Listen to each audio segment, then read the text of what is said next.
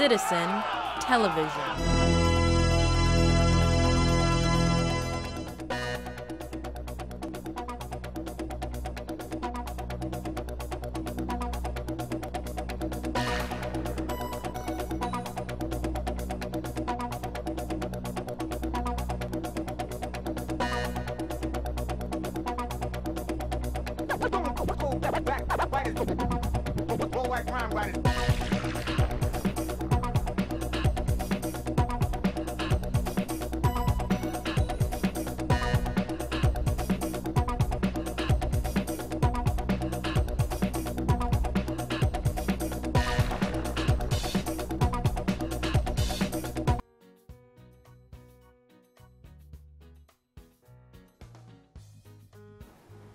Greetings and welcome to another episode of the Planetary Persuader. I am Kozmic Kev, your host and your astrologer.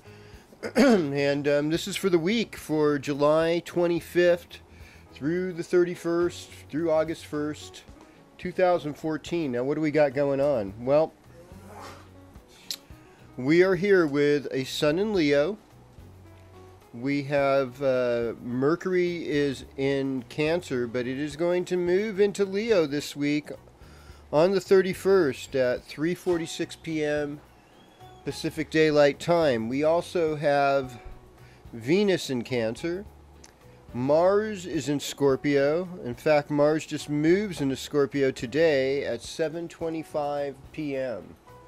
So, I think one of the things we're going to see with Mercury moving into Leo is we're going to see more bold expression. People are going to be not as hesitant to express themselves or use colorful language. That's what I'll say about Mercury in Leo. And then Mars moving in.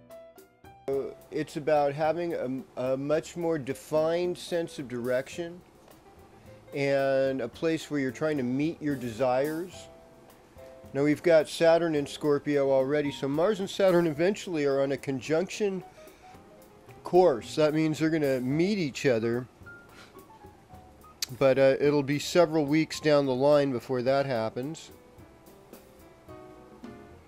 Oh, uh, but you know, it will happen, and there will be something. I'm not sure what, but there'll be something. Uh, the other thing we have right now is uh, Jupiter's in Leo as well as the Sun. We're gonna we've got a new moon this week, folks. New moon in Leo at 3:42 uh, p.m. Pacific Daylight Time. That should bring on some some positiveness, some brightness, uh, a little bit of carefree generosity, good fortune, courage paying attention to what your will is. and I, mean, I don't mean as much as a living will, but that's that's cool too. But you know, the will of the heart, the modes of the heart, because Leo is a heart-ruled sign.